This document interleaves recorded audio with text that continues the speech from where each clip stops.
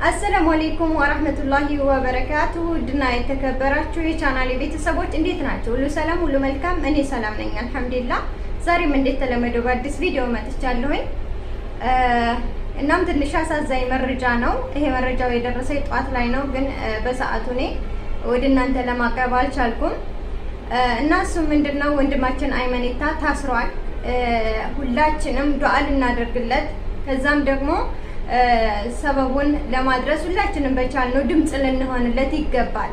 ሁላችንም ትንሽ ትልቅ YouTuber፣ TikToker ሳንል ሁላችንም በቻልነው ድምፅ ልንሆንለት ይገባል። ወንድማችን የታሰረው በእኛ ምክንያት ነው። ለእኛ ለህዝቡ ድምፅ ሲሆን ነው እና ብዙ ክሶች አሉበት። እውነት ለመናገር የጠላት እጅ አለበት እንጂ አይመን የተከሰሰው መንግስትንም ተሳድቧል፣ የዚህ ሀገርን መንግስት ተሳርቧል ምናምን ተብሎ ነው። አይመን ከመቼ ወዲህ ነው መንግስትን ተሳድቦ የሚያውቀው? ሁል ጊዜ ፍትህ ሲጠይቅ እንኳ በክብር ነው። ፍትህ መጠየቅ ከአይመኒታ ተማሩ ነው የሚሉት ውጭ ያሉ አንዳንድ ዩቱበሮች ማለት ነው። በትልቅ ክብር ነው ለመንግስት እንኳ ፍትህ ሲያቀርብ ማለት ነው ግን ብዙ ጊዜ ኤምባሲዎችን የማይሰሩ ኤምባሲዎችን የሚቀመጡ ኤምባሲዎችን ወንበር የሚያሞቁ ኤምባሲዎችን ይናገራል።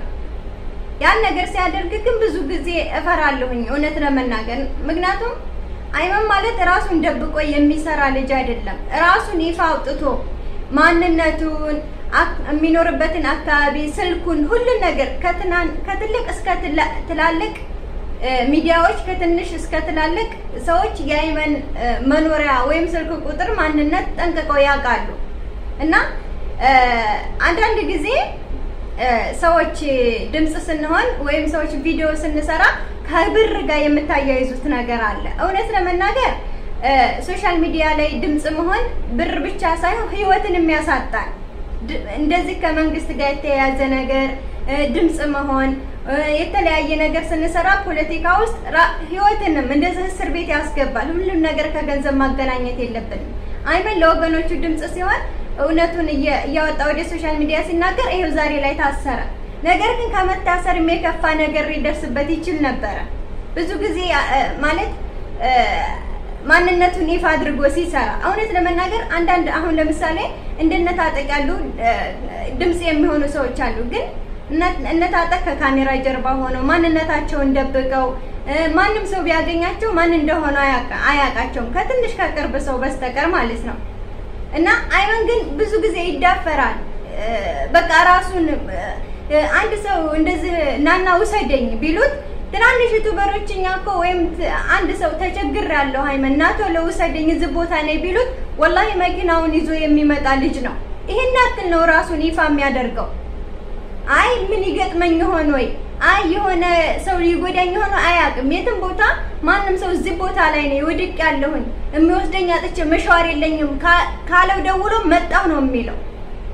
ይሄን ያክል ነው ራሱን ይፋ የሚያደርገው እንጂ አይ ድምፅ ሆናለሁ ከመንግስት ጋር የተያያዘ ነገር እሰራለሁና ራሴ እንድደባብቅ የሚል ነገር አያውቅም። ይሄን ነገር ደግሞ ብዙ ጊዜ ብዙ ሰዎች የሚቀርቡ ሰዎች ይፈሩለታል። ተው አይመን አትዳፈር እያሉ ብዙ ጊዜ ይፈራሉ ማለት ነው።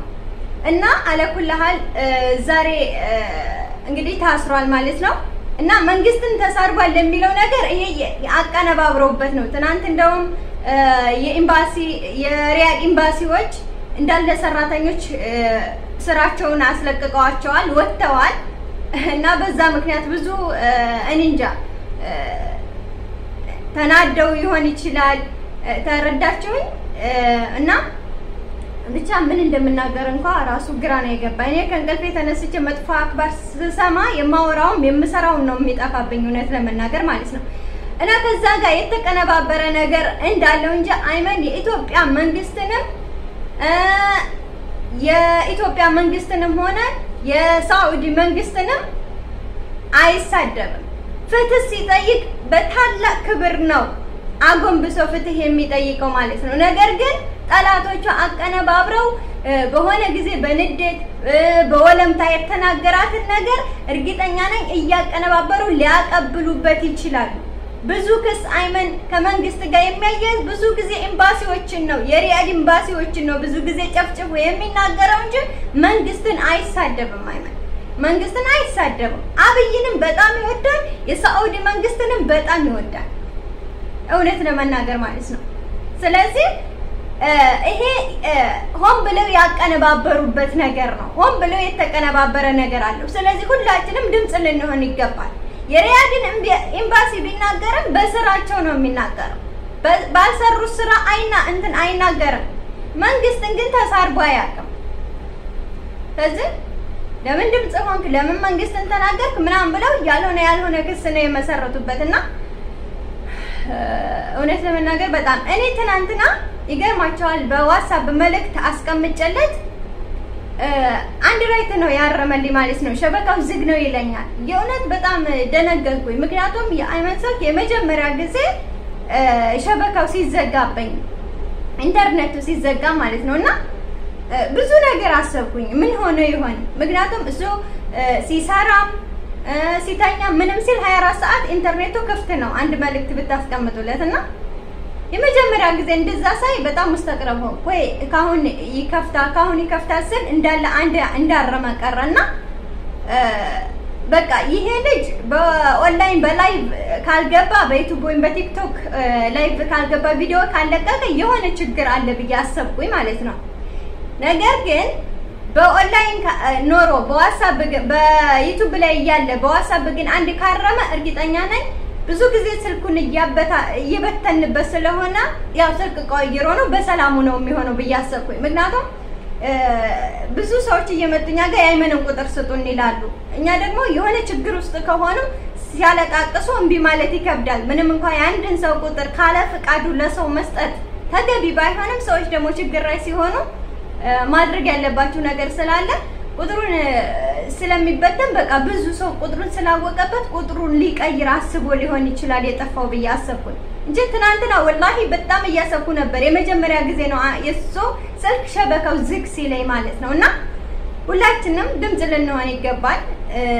እውነታው ሊወጣ ይገባል። ለምን እንደታሰረ በአሁኑ ሰዓት ላይ ብዙ ክስ አለበት። የሳዑዲ መንግስት ተሳርበሃል ብለው ነው። እዚህ ሀገር ላይ ደግሞ የሳዑዲ መንግስት የሚሳደቡ የራሳቸውን ዜጋ ቢሆን የእነሱም ዜጋ ቢሆን ቅጣቱ ትንሽ ከበድ ይላል። ግን አይመን የቱ ላይ ነው የሳዑዲ መንግስት የተሳደበው? በአላ እንደውም ሁሉ ጊዜ ሳዑዲን ታሞግሳለህ ነው የሚሉት። የኢትዮጵያንም ሆነ የሳዑዲን መንግስት አይመን መንግስት አይነካም። አብዛኛዎቻችን ፍትህ ስንጠይቅ መንግስትን እየተሳደብን ነው። በተለይ ሀገራችንን ማለት ነው። የሰው ሀገርን መንግስት ባንዳፈርም ግን አይመን ግን ለኢትዮጵያ መንግስት ለሳውዲ መንግስት ክብር አለው እና እቺ ሴራ ነች።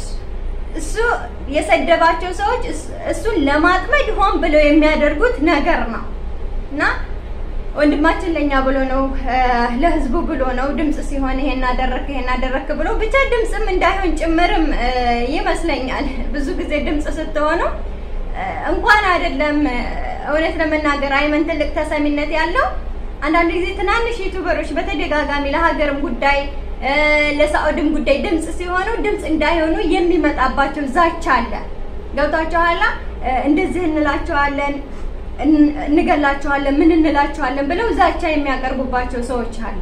ገብቷቸዋል። እንኳን አይመን እና ድምፅም እንዳይሆን ጭምር ይመስለኛል ይሄን ነገር አቀነባብረው ወይም ደግሞ የኤምባሲዎች ሴራ እንዳይወጣባቸው የተደረገ ሴራም ይመስለኛል። እና ሁላችንም በቻልነው እውነታው ድምፅ ልንሆንለት ይገባል ማለት ነው።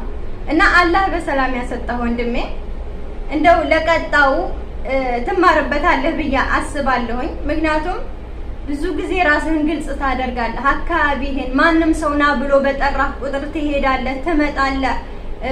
አንድ ሰው እዚህ ቦታ ላይ ና ውሰደኝ ካለው ጭራሽ የ social media ተጠቃሚ አይመስላችሁም። ፈጥኖ መጥቶ ነው እናንተን ለማንሳት የሚጥረው ማለት ነው እና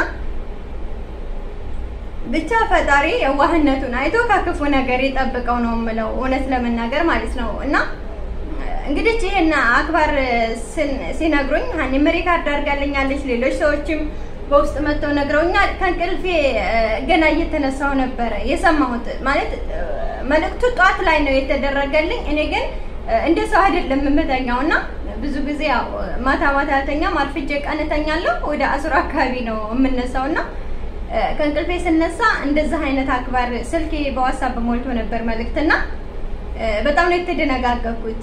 ሱብሃንአላህ እኔ ከእንቅልፌ ሲነሳ መጥፎ አክባር ስሰማ ወላሂ የምሰራውም የምይዘውም የማወራውም ጥፍት ነው የሚልብኝ። ስራዬን እንኳን ጠንቅቄ አልሰራም እና በጣም ከሰው የተለየ ነው። ደግሞ መኝታ ትንሽ ያስደነግጣል እና በጣም ነው የከበደኝ። ብቻ እንደዚህም በዙሪያ የተያዙ ሰዎች ከእንቅልፍ የተነስቼ ከሌ ተያዘ ምናምን የሚል መልዕክት ሲመጣልኝ በጣም ነው የምደናገጠው እና አሁንም ፍትህ ለታሰሩ ወገኖቻችን በእስር ቤት ላሉ ፍትህ ለወንድማችን አይመኒታ እንላለን። ደግሞ እውነታውን ስሰማ ደግሞ ኢንሻአላህ የማቀበላችሁ ይሆናል። ወሰላሙ አለይኩም ወራህመቱላሂ ወበረካቱ